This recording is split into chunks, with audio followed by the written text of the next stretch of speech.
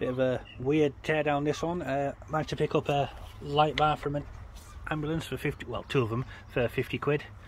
Uh, this one's a Woodway Edge 4500 series. Um, when I turn it around you'll, you'll probably see why I bought it.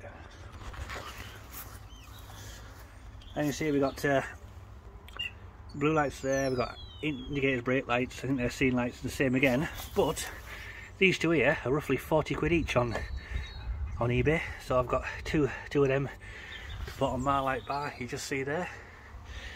Uh, obviously the blue lights I'm not going to be able to use, so I'll be uh, disposing of them. Same again with that one. Uh, this one doesn't have red lights because this one was from the front, so we've got indicator lights, scene lights at the front, blue lights again. So to be slightly different to my teardowns because I don't have the proper camera set up here, so it'll be uh, jumping in and out. As you can see the uh, lenses themselves aren't in too bad a condition. Sure they're a little bit scratched and whatnot, but at least they're not smashed. Uh, it's just a pity that I can't use these because my light bars are federal signal. These, these ones are Woodway. So it looks like. I'm hoping they're LED. They do look like LED ones, so that's not too bad. Uh, that one's halogen, so might not use that unless I can LED convert it. And obviously they're LEDs as well. So yeah, on to the next level of taking it apart.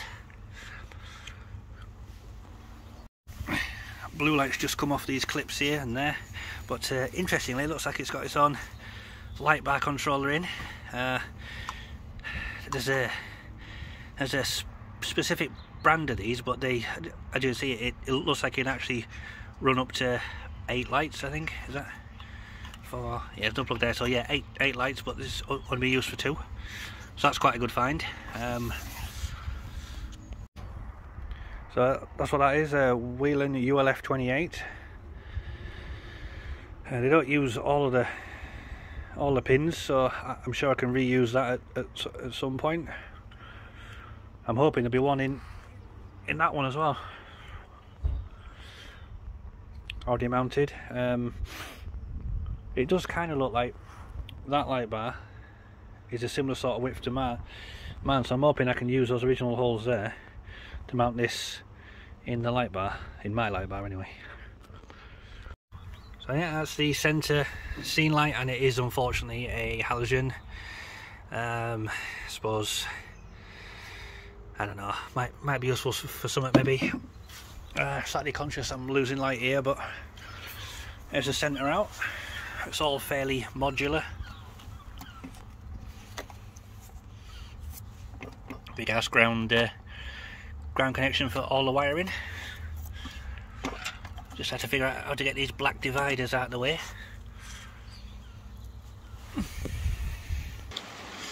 Well, predictably it started pissing it down. Uh, smidged up, but uh, for God's sake, I don't know if you can hear it. That's the, uh, God, that's the end of this teardown, Jesus. Well, I managed to uh, cobble together some light.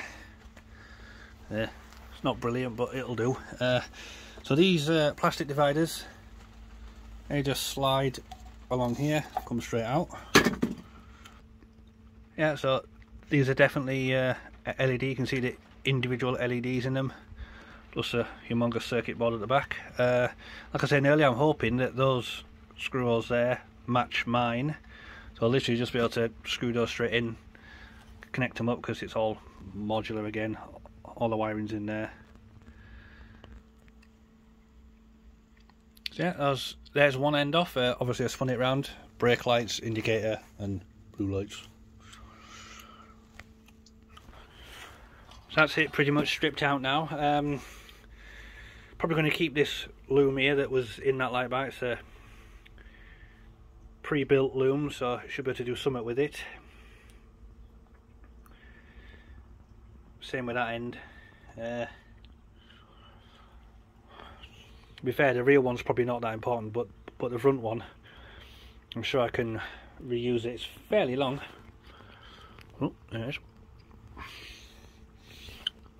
At the very least, I'll keep it for the uh, connectors and whatnot. So yeah, that's that one stripped down, just down to its aluminium, aluminum um, extrusion. So I only really wanted it for the lights, and that's what I've got. Like I said earlier, these are about 40 quid for one on, on eBay, and I've got, well, I've got four just like this one that, that are taken apart obviously two more in here.